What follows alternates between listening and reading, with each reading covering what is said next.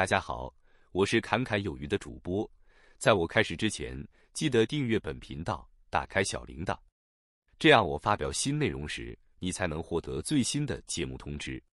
随着搭载 Exynos 2400处理器的三星 Galaxy S24 系列的正式上市，新一代的 Exynos 2500的信息也开始被曝光。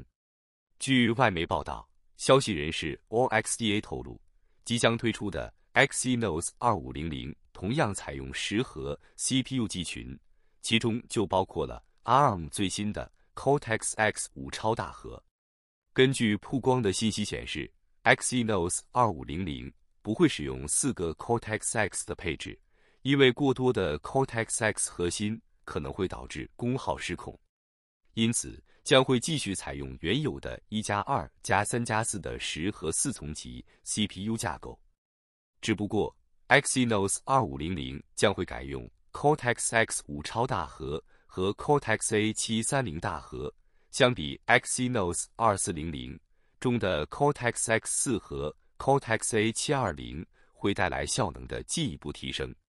不过，Exynos 2500所采用的 Cortex X5 的主频。与上一代的 Cortex X4 没有多大差别，其频率将在 3.2G 和 3.3G 范围内进行测试。根据三星的最终决定，我们要么会看到 100m 的微小差异，要么根本看不到任何差异。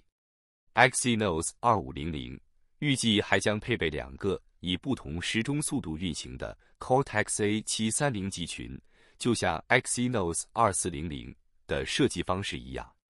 至于低功耗核心，爆料者指出，Exynos 2500将配备相同的 Cortex A520，尽管这些核心的频率尚未曝光。制程工艺方面，Exynos 2500可能将会采用三星新一代的三纳米工艺量产。此前，三星三纳米工艺尚未应用于任何手机或平板电脑晶片组。虽然上一代的 Exynos 2400是在三星四 LPP Plus 节点上制造的，但到目前为止，Exynos 2400在各种 3D Mark 基准测试中都给人留下了深刻的印象。据韩媒朝鲜日报引述业界人士的话表示，三星已开始制造第二代三纳米制程 SF3 的试制品，并测试晶片效能和可靠性。目标是六个月内力拼良率超过百分之六十，以与台积电竞争并吸引客户。据媒体报道，三星晶圆代工厂开始试产第二代三纳米工艺 SF 三，这是三星半导体工业史上的重要里程碑事件，标志着三星将与台积电争夺先进工艺节点的霸主地位。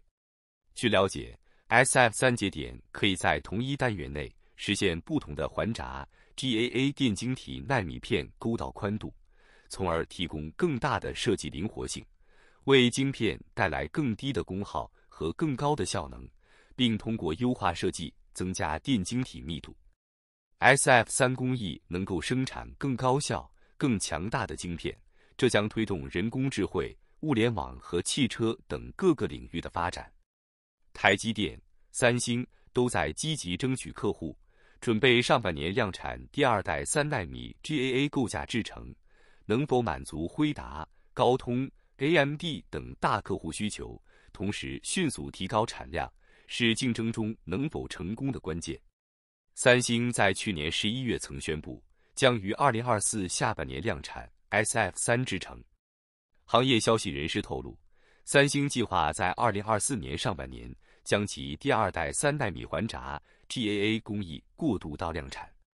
正在进行的试生产，致力于评估使用这种尖端工艺制造的晶片的效能和可靠性。预计首款采用三星第二代三纳米工艺晶片的设备，将是二零二四年推出的 Galaxy Watch 七。Galaxy Watch 七被定位为这一先进工艺节点的试金石，它的成功将助力该工艺应用在三星未来的。Exynos 2500应用处理器 AP 中，预计明年 Galaxy S 25系列所搭载的 Exynos 2500晶片也将采用。不过，智慧手表应用处理器、手机晶片和数据中心处理器的晶片尺寸、效能和功耗目标完全不同。小型晶片如果良率只有百分之六十，要商用相当困难；但若是光照尺寸 （reticle size） 的晶片良率为百分之六十，就相当合理。行业分析师预测，如果三星的第二代三纳米工艺能够提供稳定的良率和效能，它可能会吸引到客户，尤其是高通。尽管高通已经将骁龙八 Gen 三晶片的生产外包给台积电，但它可能会重新与三星合作。如果 SF 三产量和效能稳定，转向台积电的客户将有机会回流三星。例如，三星就相当关注与高通的合作。高通此前曾将旗舰晶片交给三星代工，但是由于发热问题，随后高通不得不转向了台积电。高通新一代的 Snapdragon 八 Gen 三也是由台积电代工生产的。此外，辉达和 AMD 的高阶晶片也都是交由台积电代工。辉达新一代的 H 二百、B 一百和 AMD 的下一代 CPU 和 AI 晶片也预计将会采用台积电三纳米制程。